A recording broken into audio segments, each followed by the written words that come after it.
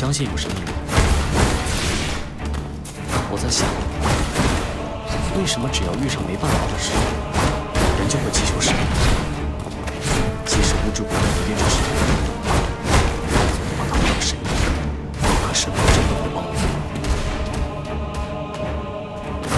你刚才说的，大概是因为我们还不够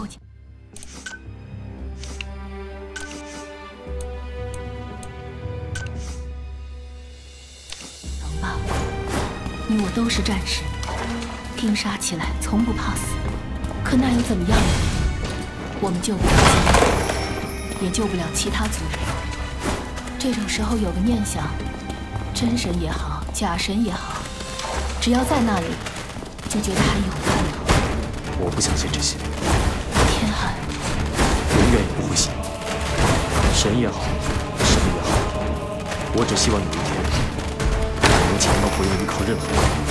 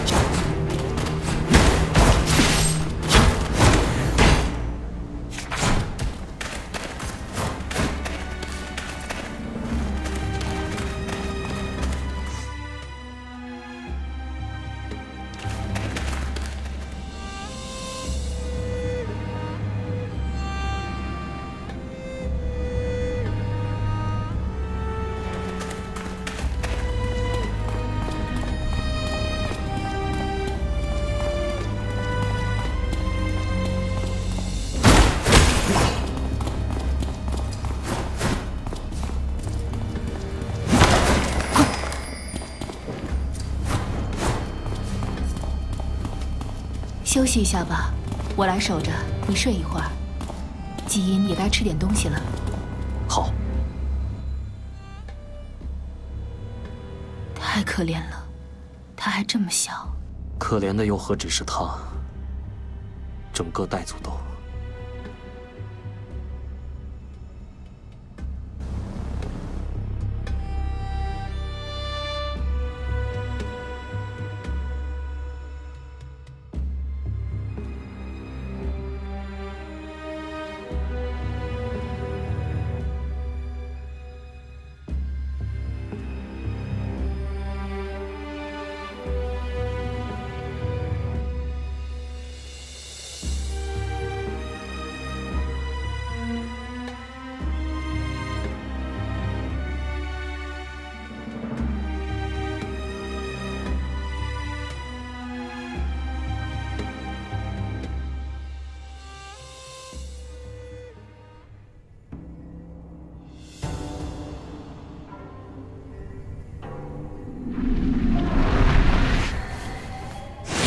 想到让他们出来的法子了吗？你知道？好好求我的话，说不定我会告诉你。要不要赌一把？怎么，到现在还摆出这副样子？这天底下有谁不曾折腰？偏你云无月就高高在上。不染俗尘了。你说的对，天底下谁人不折腰？毕竟天外还更有天。但是让我折腰，你还不配。云无月，看不起我？你凭什么？不过是个连声音都没有的眼。就算跟辟邪在一起。污秽，始终是污秽。哦，我明白了。我们把人当做食物，辟邪也可以把我们给吞了。你和他，又怎么会是一条心？到头来，所谓的情谊，也不过如此。难怪我让你求我。你连试都不试一下。我只是确定你并不知晓如何破除这个法术。这些碎金的确被某种力量所改变，却远非你能做到。是巫咒。我没料想你和他到了一处。是他让你来扰乱我。我可不会听命于任何人，但能令你不快。似没有白来一遭。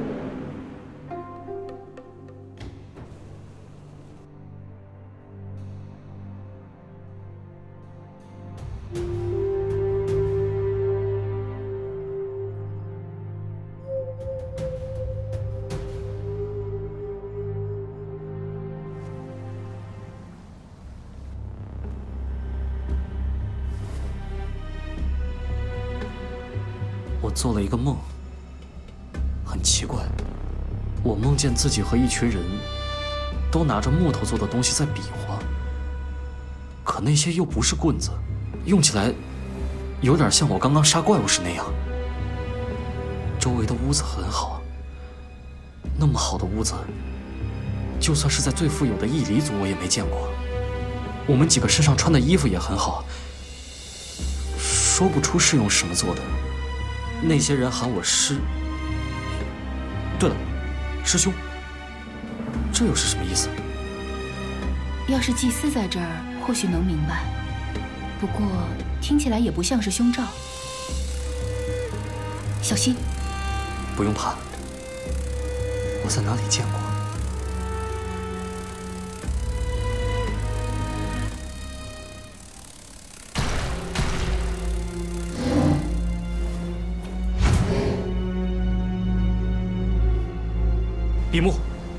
紧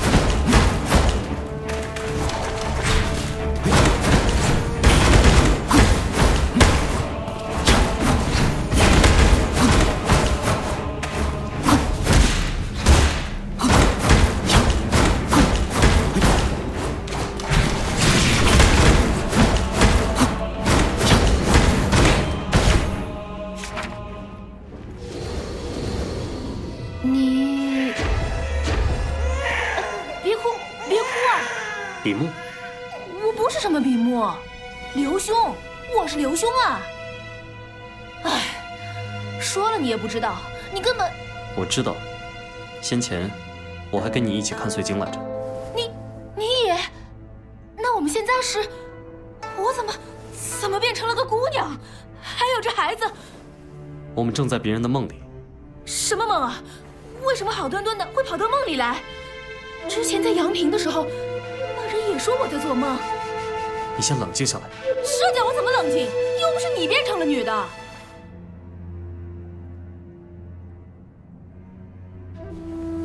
吧，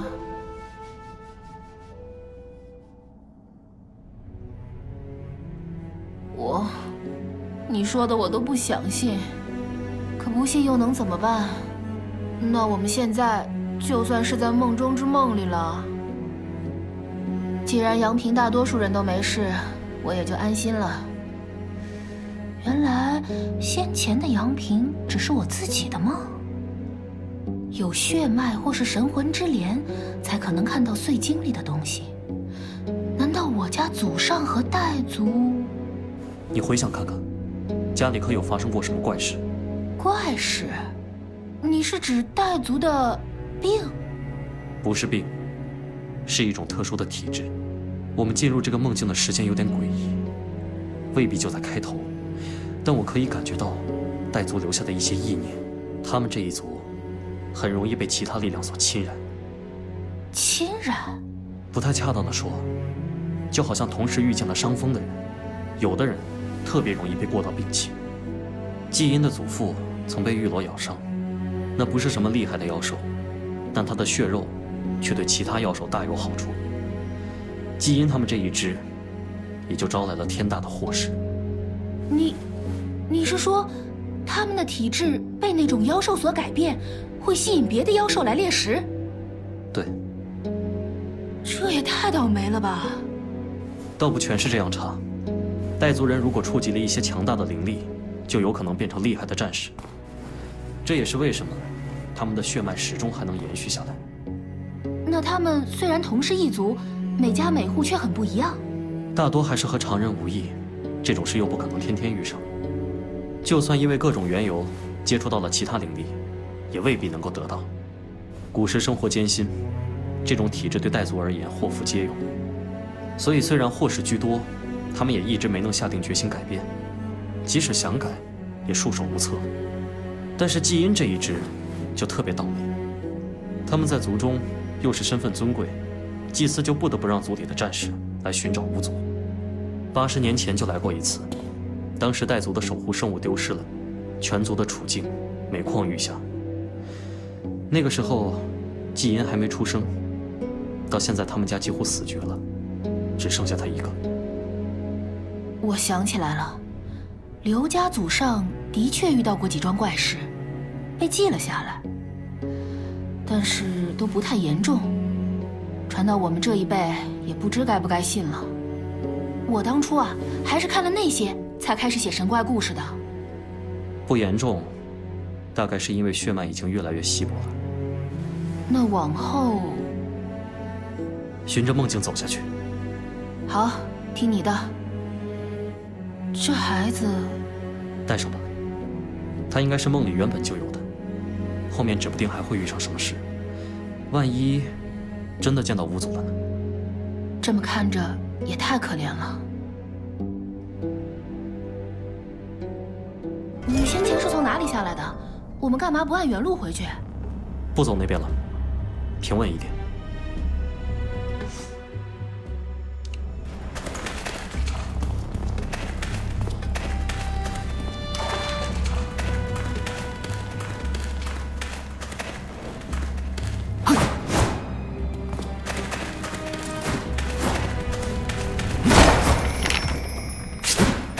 真要被怪物弄死了，大不了十八年后又是一条好汉。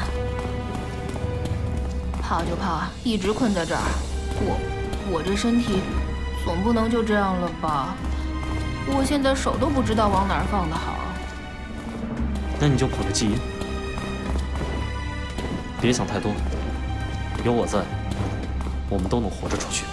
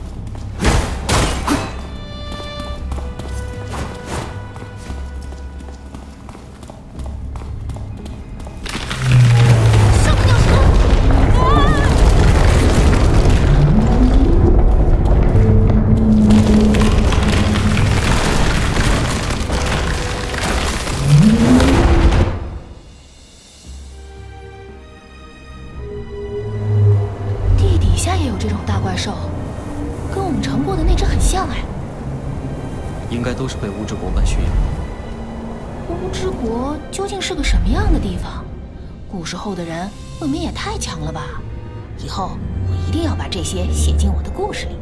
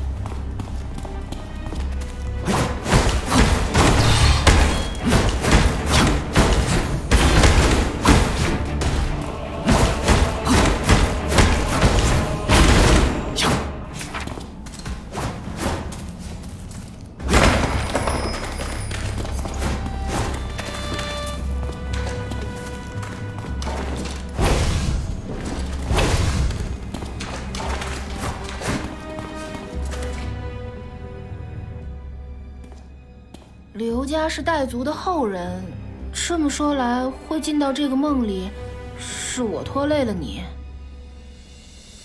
未必，也没准是反过来的。如果只是碎经里的梦，不可能会出现你在阳平梦境中见到过的魔。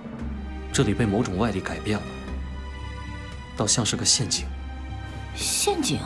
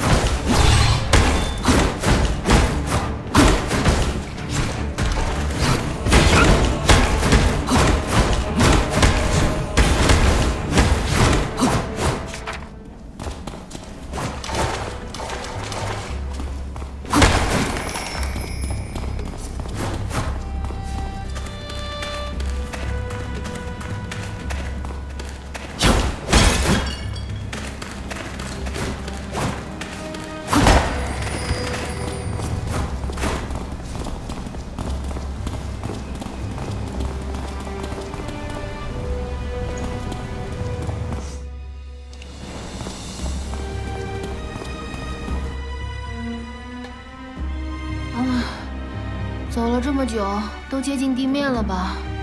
也不知道能不能找到出口。嗯，这地方真让人毛骨悚然。追过来了。啊！魔一直在追我们。比起地洞里的怪物，他们才是真的危险。来了不少。等会儿如果被围住，你一定要……这是之前……快，你跟着他走，我去拦住那些魔。我不要多说，你在，我反而容易分心。好，好吧，你多小心。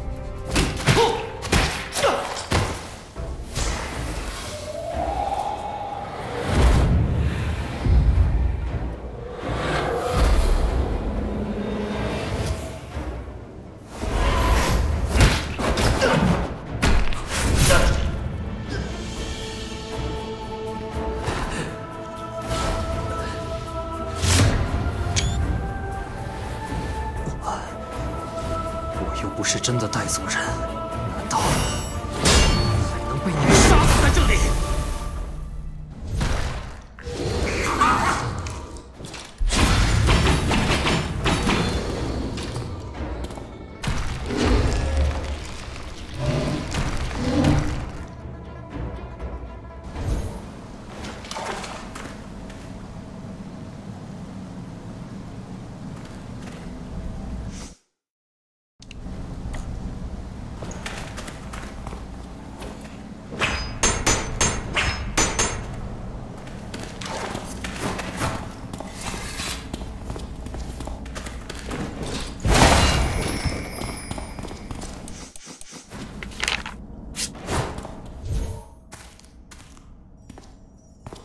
有路了，上面那是怎么回事？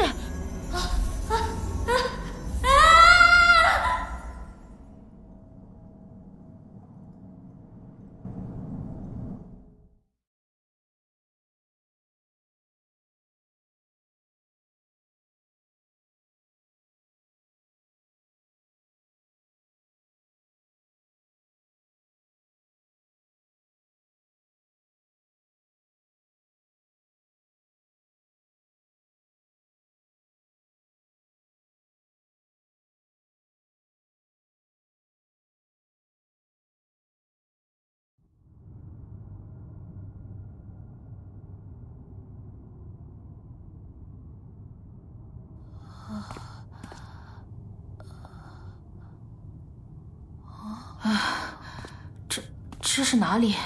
出来了吗？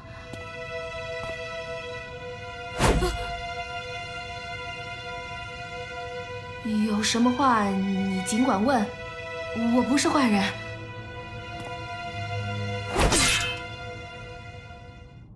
你没事，你变回来了。带族人，你也是带族的？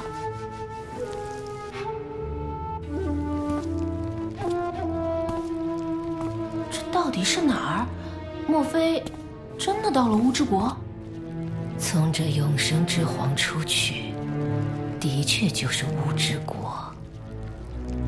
赢了，放你们走。啊，这老乡见老乡的，没必要打打杀杀吧？万熙，你是八十年前来寻找乌之国的战士头领万熙。既然这样，更没必要打了。我们的目的不是一样的吗？太弱，出去也是死。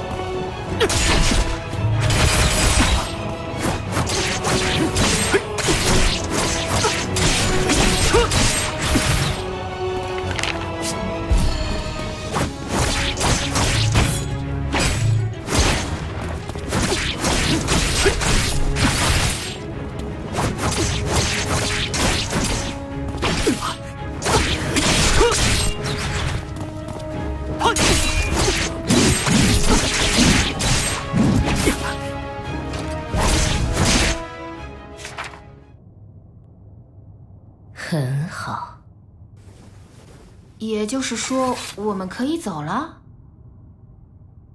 保重性命。唉，早说不用打来打去的。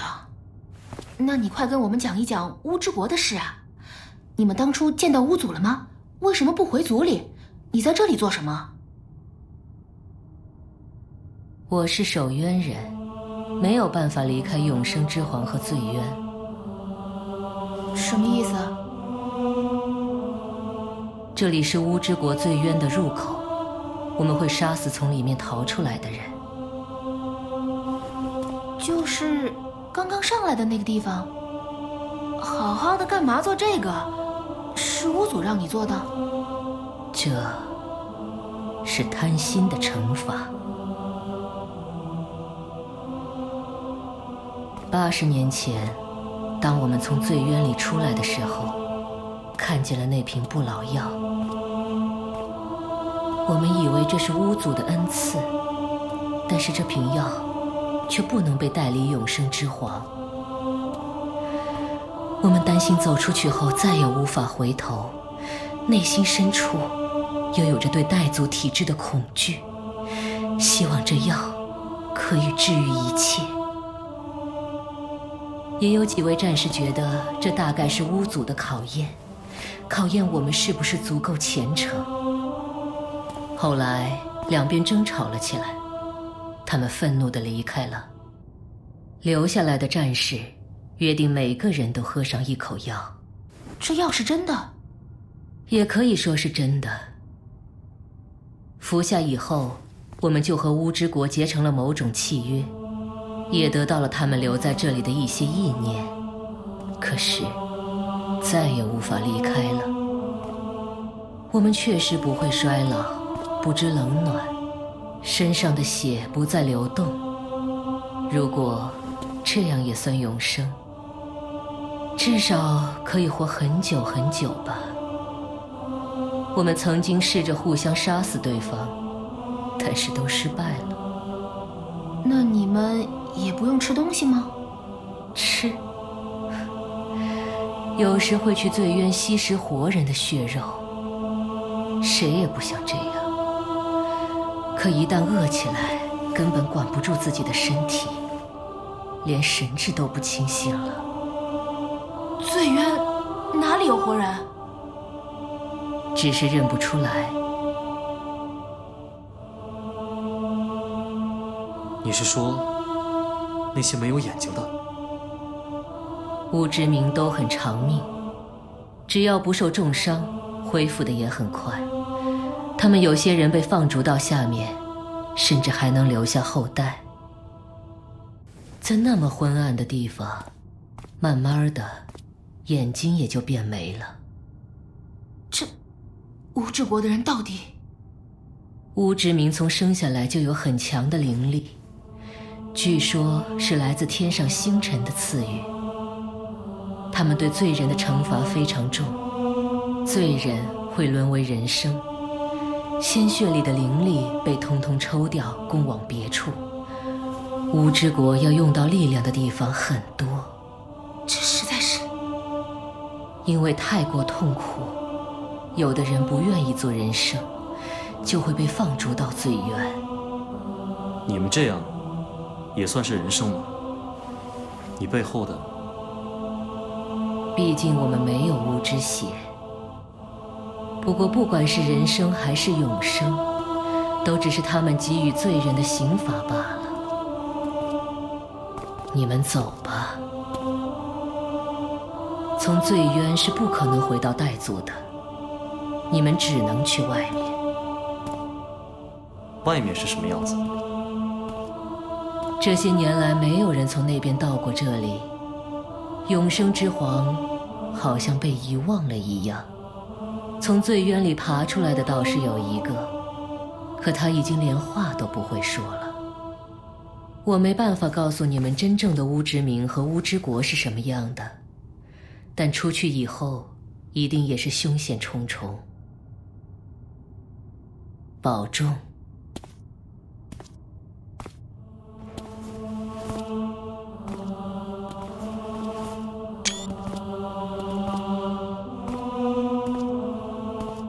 我们戴族长久以来信奉的究竟是什么？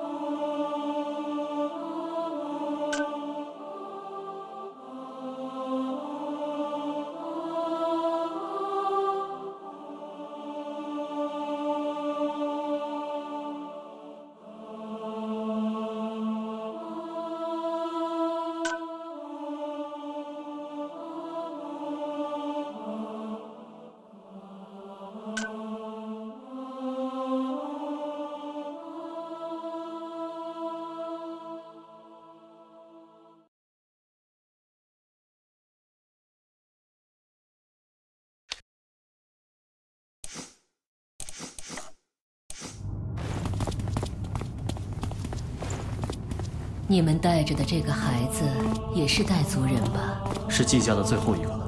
真不知道我们带族是不是受了什么诅咒。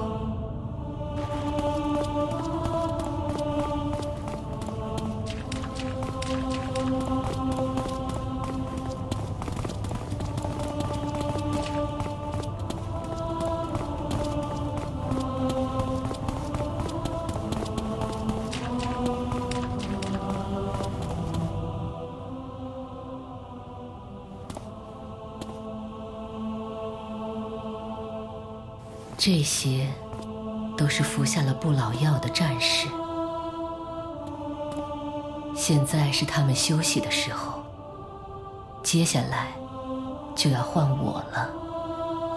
你们也需要休息。每过一段时间就会停下所有的行动，只留隐约的知觉，外表看起来完全不像个活物，内里。却是连魂魄都在被烈火焚烧一样，也怪不了别人，只怪我们当初心智不坚。这八成是个陷阱，武之国的人实在太卑鄙了。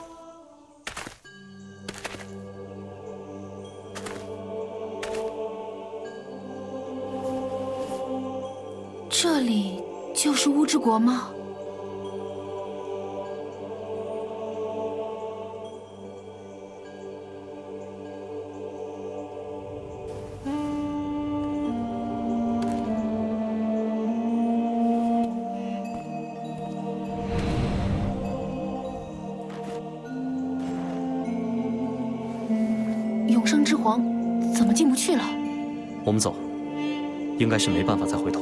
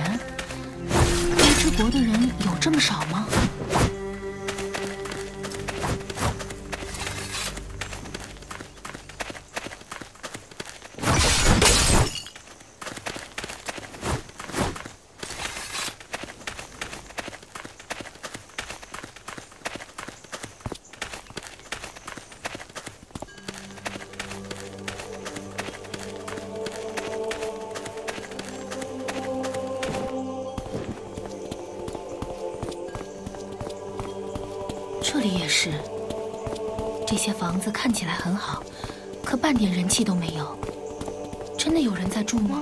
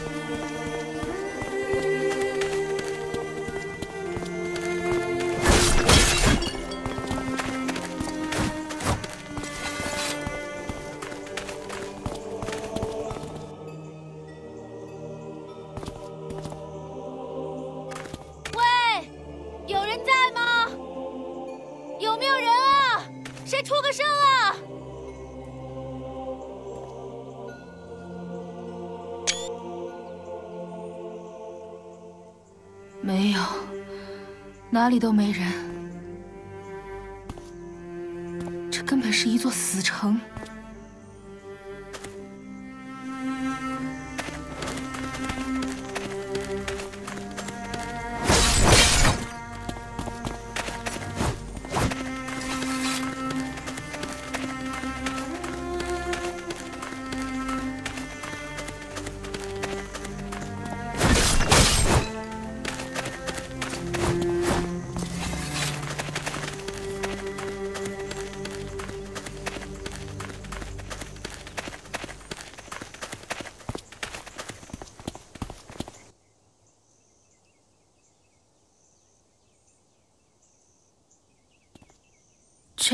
一个人都看不到，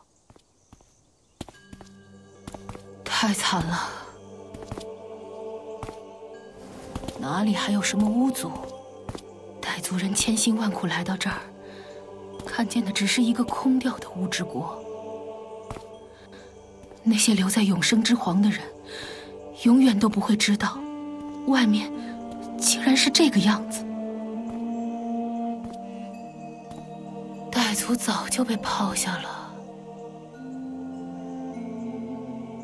什么都做不了。你是不是觉得我很没用？我在阳平梦里的时候说要救大家，最后也是一无所成。我打算去找姚叶湾，不是出于好心，而是觉得等不下去了，继续留在那里，我会疯掉。如果真的要死，倒不如拼一把，至少做成一件事情。现在到了这个梦里，我还是没用，要靠你保护，要眼睁睁的看着自己的祖先受苦。你有手有脚，只要过日子是自食其力，不伤天害理，不作奸犯科，怎么就没用了？没事，别把自己想得太厉害。拯救苍生这种力气活，我还不一定做得到呢。带走的事，你再难过，也已经过去至少两三千年了。不管你今天做些什么，好的还是坏的，都不可能改变发生过的事。既然你还在这里，就是带族的血脉延续了下来的明证。眼前的只是梦，我们能活着回到现实中才是最重要的。都只是梦，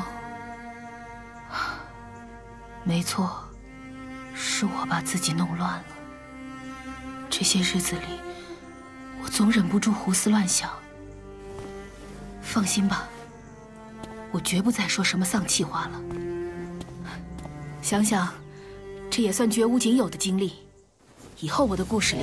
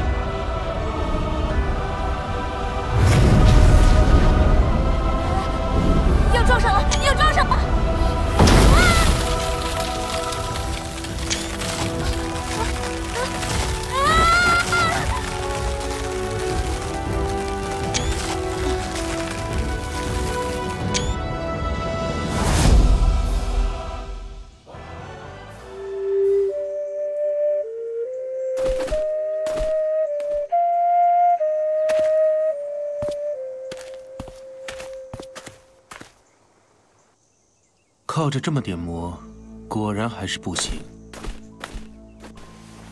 魔是你引过来的，这次你又想做什么？当然是想要你死。这里是梦中之梦，与现实有着重重阻隔。就算是一只王辟邪陨落在此，辟邪族也很难查到什么。我一直想说。凭你，也用得起太岁？怎么？莫非让你想起了被禁云斩首之痛？你同他已经见过了，不然又怎么会知道？他，这个梦境的主人，纪灵族所在梦境的真正主人。看样子，你还是一无所知。想杀我，我的命也不是那么好拿的。生死之战，你我一样都在生死之间。的确长进去。无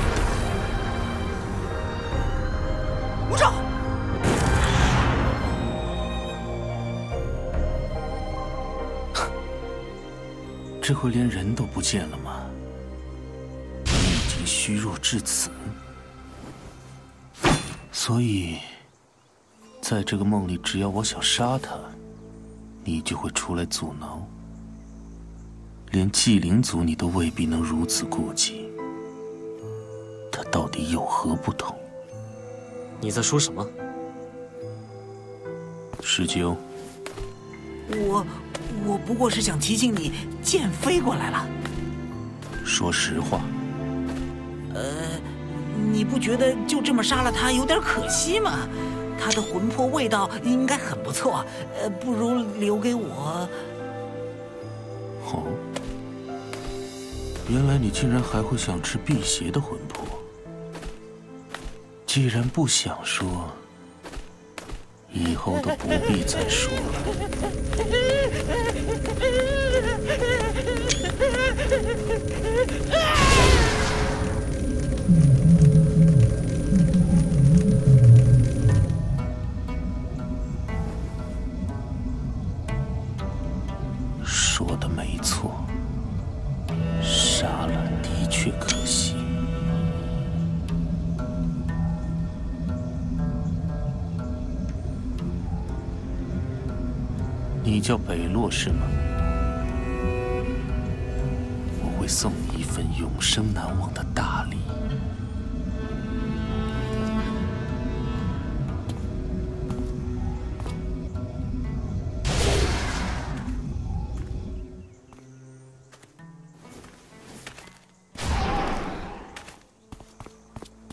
那个人是谁？看起来非常可怕的样子。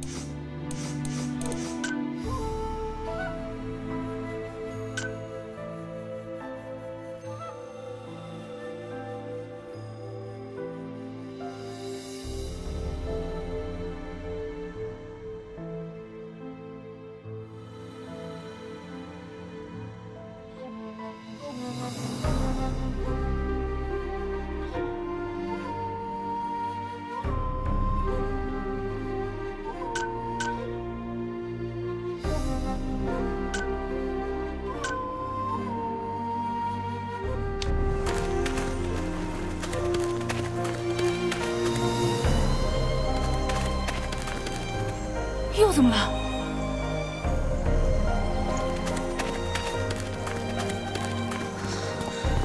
云无月，你这个叛徒，眼族永远都不会接纳你。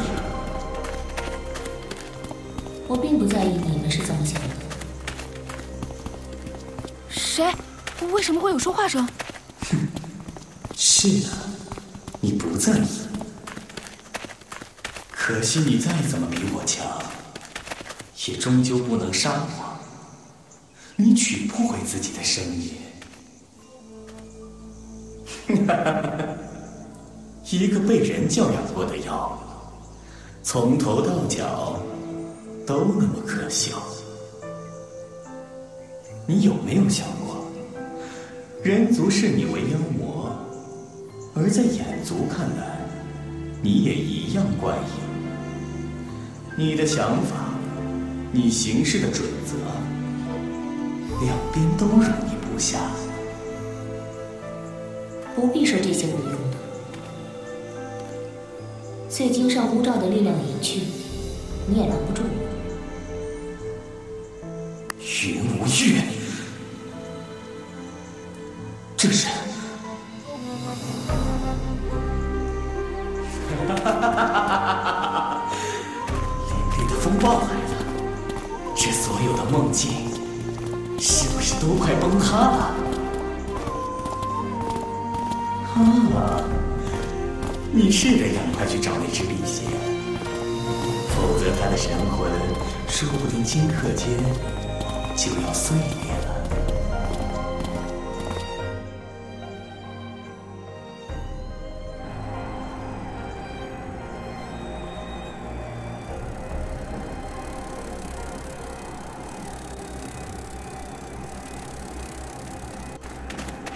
那是出口，我们过去。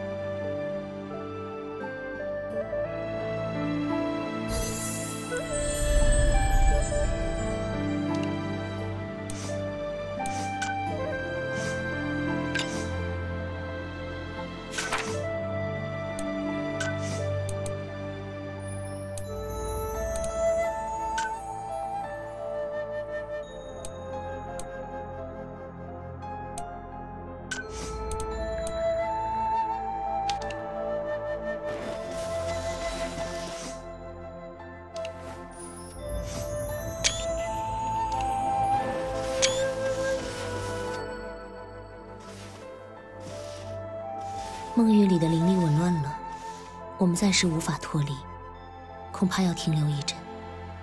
这是哪里？我的乾灵境之中，亦是力量所能庇护之地。刘兄呢？除了他，也还有别人的意识来到这里避难。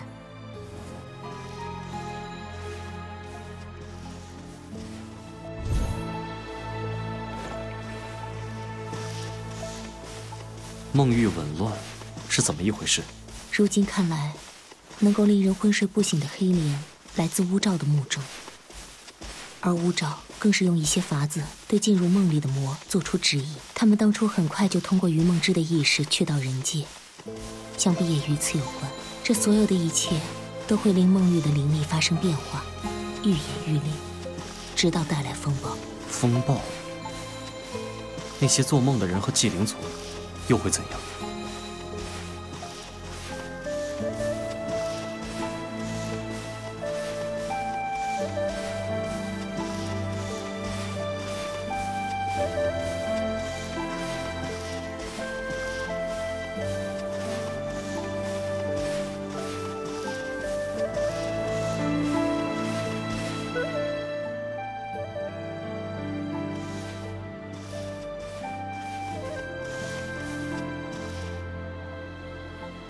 直觉得，祭灵族所在的那个十分广阔的梦境，应当已经存在了许久。寻常之梦，连一夜都未必能有。祭灵族便如梦中的旅人，永远都在四处迁徙。可风里霜他们给我的感觉，却不是这样。吴兆也提起了这个玉主，他们之间似乎有什么纠葛。该不会也是从古早之前，就一直活到现在的人吧？可谁又能做这么久的梦呢？若是这一次的灵力风暴无法平复，整个梦域都有可能崩塌。祭灵族和他们所在梦境的真正主人亦有性命之忧。我们能帮到那个狱主吗？我试过，但找不到他。除非能进入他的元灵境。元灵境，意识的更深处，比乾灵境还要深入。除了这些，我更担心乌兆那边，他肯定会有所行动。忧心无用，我们毕竟是外来者。如此强烈的风暴中，只会寸步难行。云无月，你很久没来看我了。有魔进来了。他们若是在灵力风暴中胆怯了，自然也会努力寻找安全之地。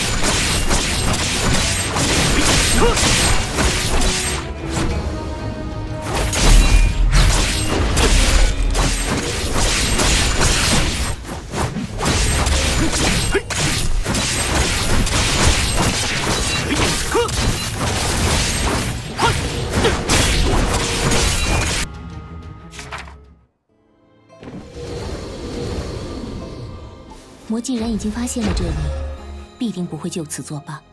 云无月，你什么时候再来看我呀？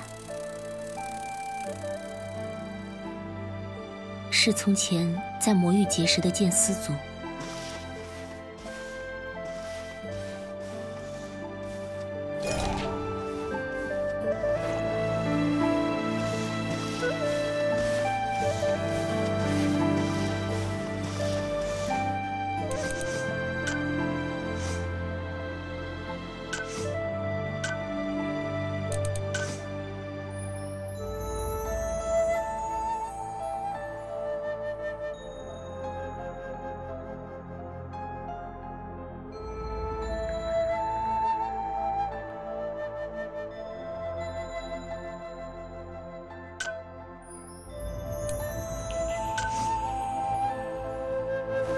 你似乎有话想问。轩辕秋，缙云从小就在那儿长大吗？他是有熊人？并非，缙云的父亲出身三苗，他们一家因战乱去到有熊。他的母亲是否也是三苗族人，我却是不知道。怎么？先前和刘兄一起进到的那个梦里？不，没什么。云无月，新商城实在太大了。我觉得在这过上一辈子都不会腻。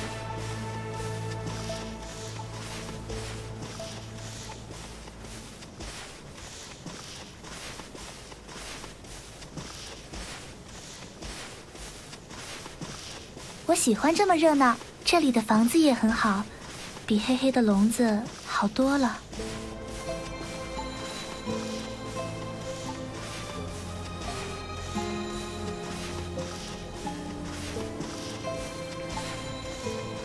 城里的妖魔送来了很贵重的东西，可我不想要。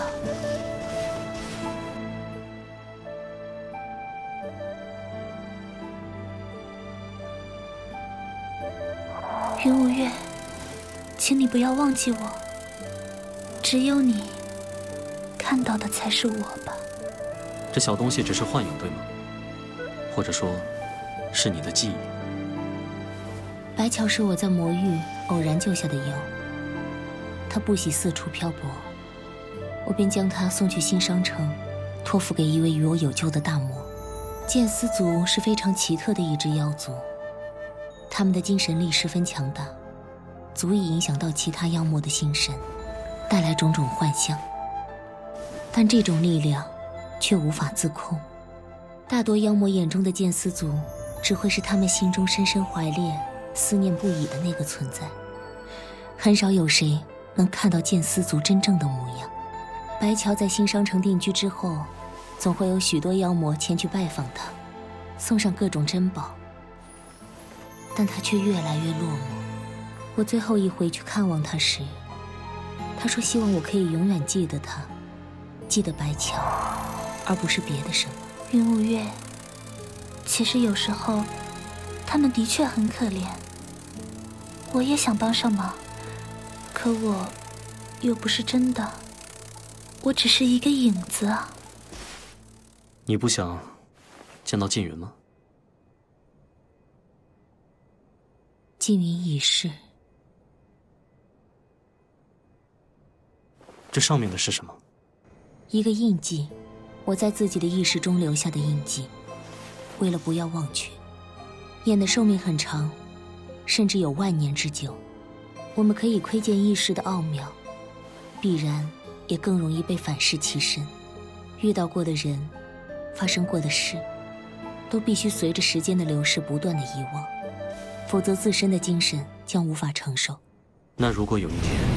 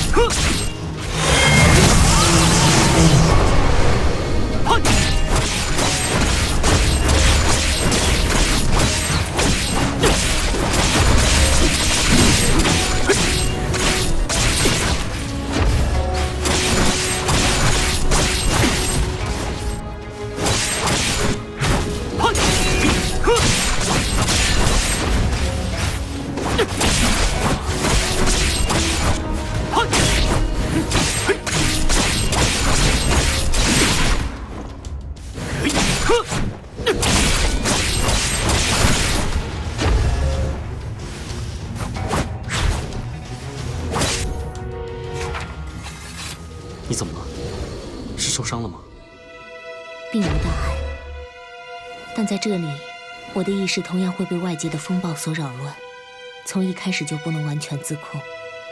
若是之后周遭的情景有变，你也无需惊讶。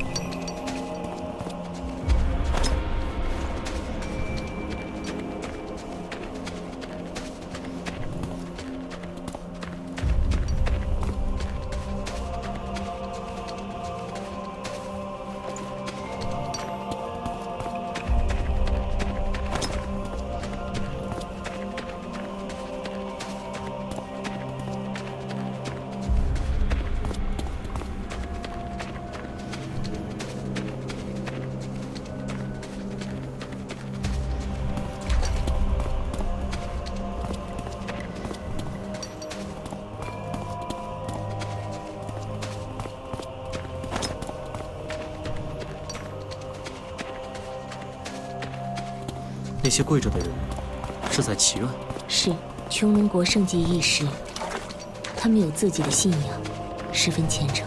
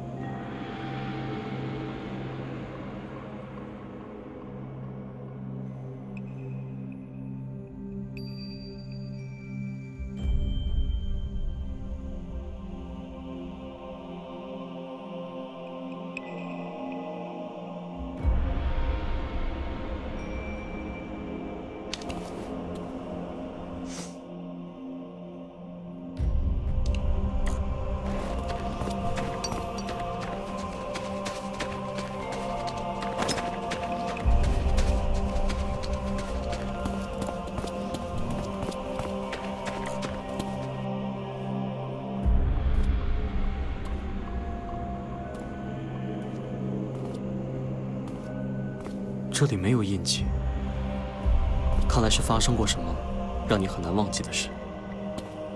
的确，有一些教训。我成年未久时行走世间，遇到了当时穹龙国的国师，他要我抹去意识，成为他的使仆。这家伙，难不成是想找死？我拒绝之后便被拘住。正在穹龙圣坛之下，他竟这么厉害。相传穹龙国师乃是更久远之前的大能转世，身具累世的功德和法力。这些我并不太懂，但我的确是败了。穹龙之法与我的力量本是相克，他将我关在那处，日夜如受刀锯之刑，无非是要我有朝一日转念屈从。寻常人求而不得。至多杀之。这国师倒是思虑深远。两百一十六年间，我未有一日放弃修炼，终是能够破印而出。那你必定是要报仇。自然。我毁去圣坛，从庙宇深处把那个和尚带走，投进了魔域的一处深渊。一开始他仍是挣扎呵斥，数十日后便再无动静传来，想必是被群魔吞噬了吧。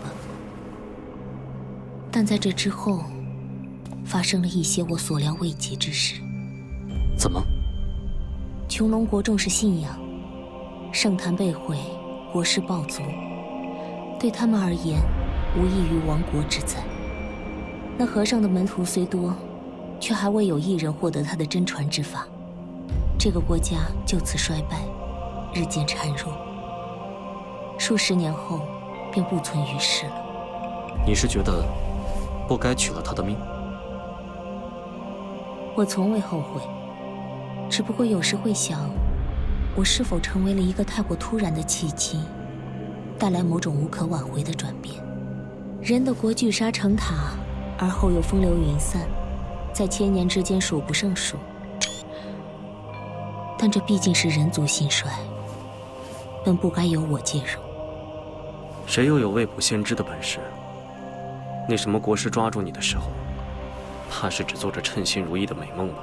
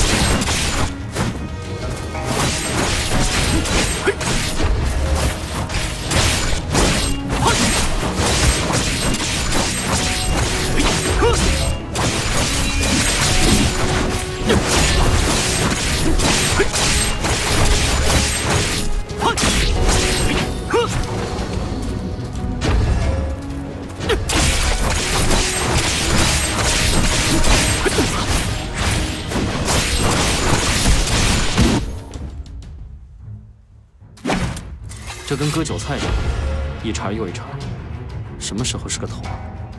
我们回到了白梦泽，就意味着灵力风暴正在减弱，对我的扰乱也越来越少。且在此地等上一阵。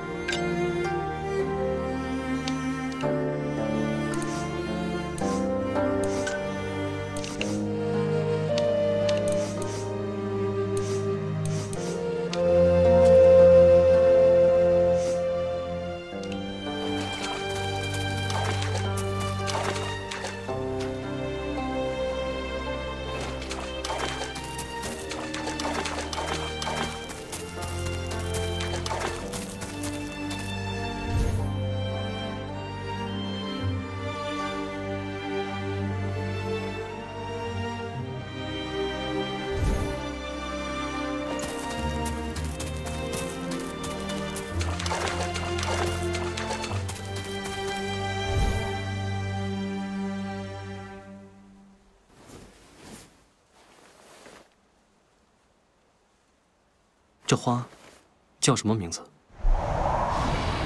刺金心。荆棘吗？对。它原本长在离轩辕丘很远的一个叫做刺金岩的地方，须得穿过重重荆棘，在山的最深处才有可能找到。金云曾经给我带回了一株，后来长成了许多，可惜他也见不到了。沧海桑田。连白梦泽都已经不在了。再好看，梦里终究是梦，回忆也都只能是回忆罢了。这世上的花千千万万，以后我给你找别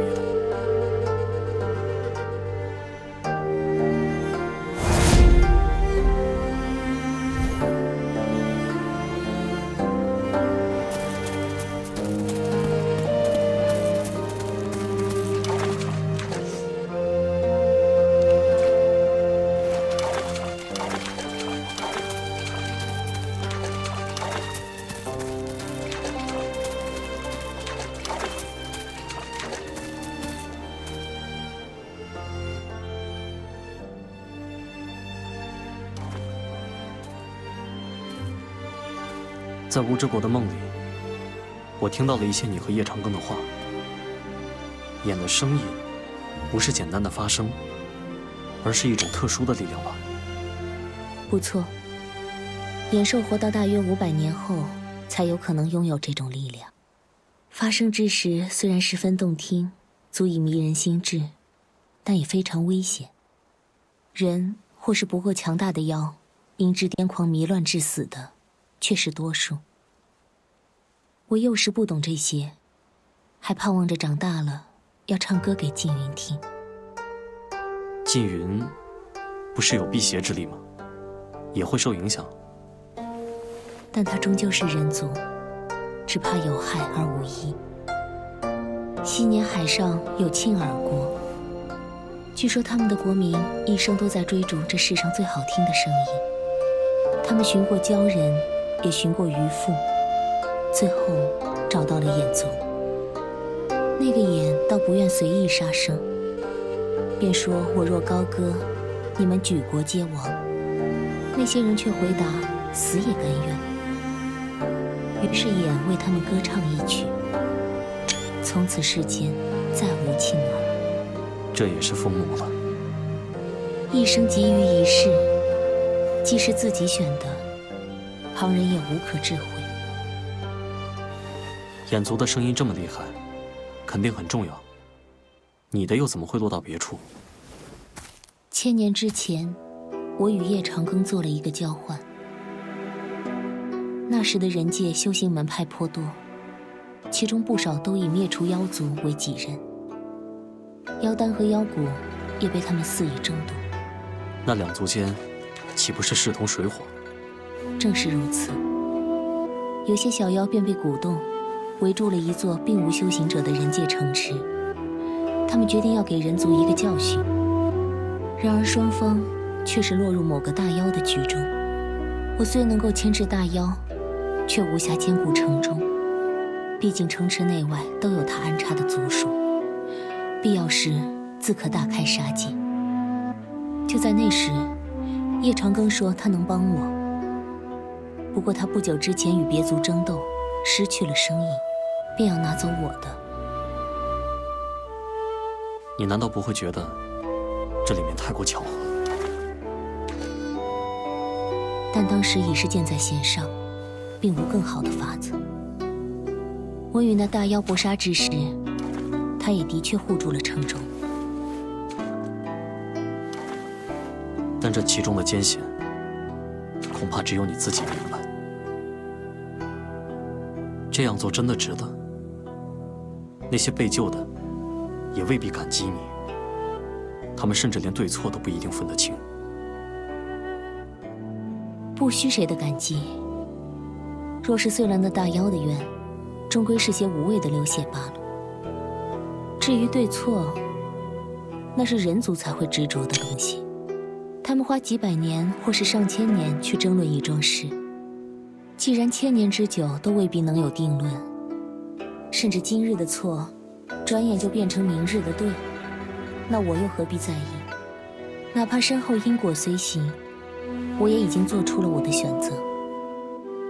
便是缙云，一生征战，往来于尸山血海间，又如何辩说他是否错杀一人？也是。有些东西原本说不清，只看怎么选罢了。但你的声音，就这么算了吗？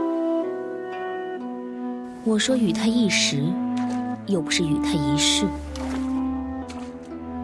只不过如今还无法取回。为什么？眼是不能杀死眼的。关乎性命之事，力量便会受到禁锢。无非是我不够强大。若是够强，这禁制又算得了什么？是啊，总有一天要物归原主的。事在人为，为者忠诚。生死之外，又有什么是一定办不到的呢？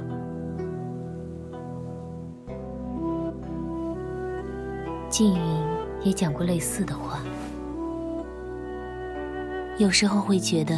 你们有点像，我像他，哪里像了？并非颜貌，而是别的一些东西，都很不服输，也绝不会轻易认命。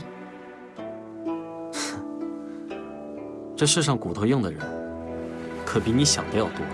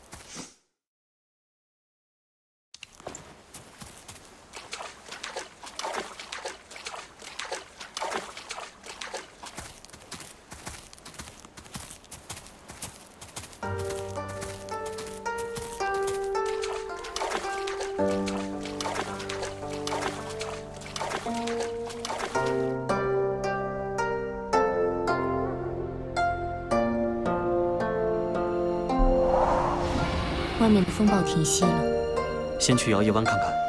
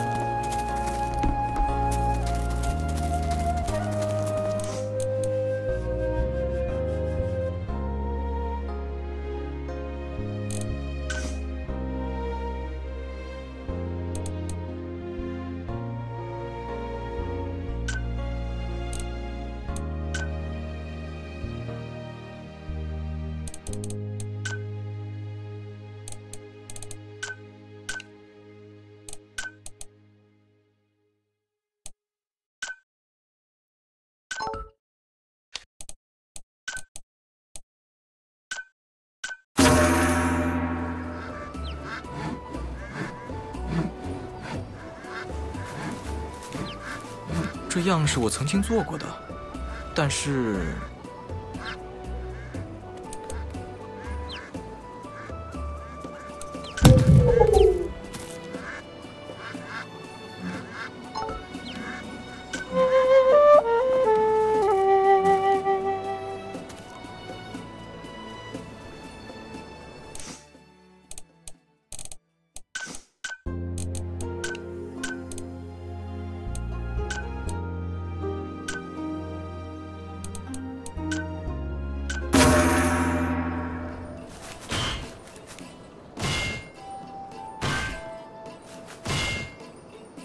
也可是榔头功夫。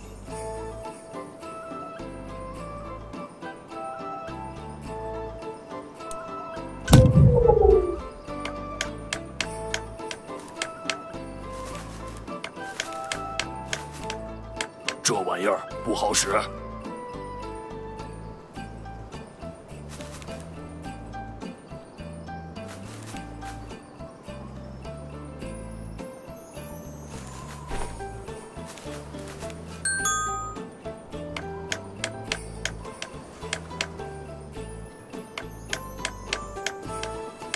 人族的记忆真是繁复。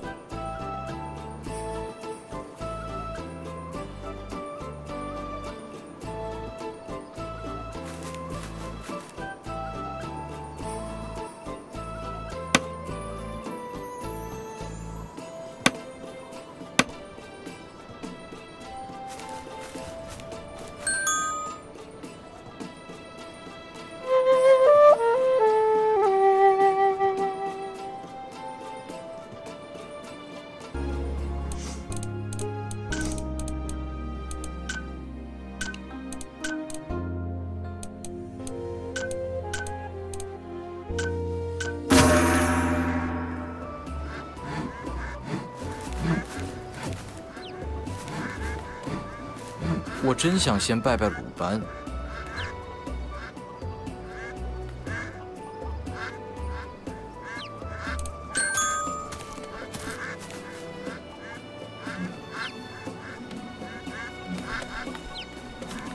哎呀，没想到会用上这东西。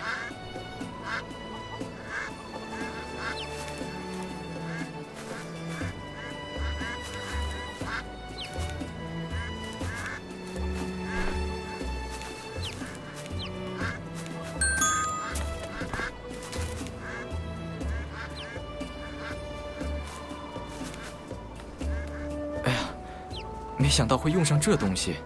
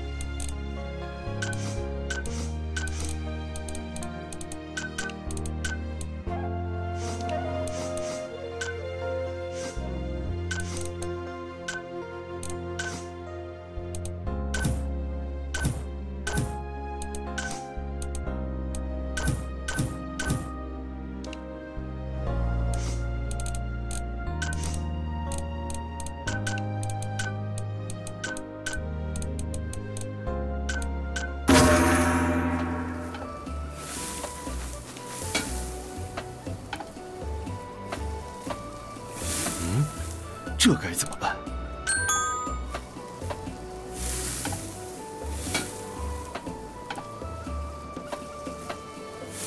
哎，这锅真有些斤两。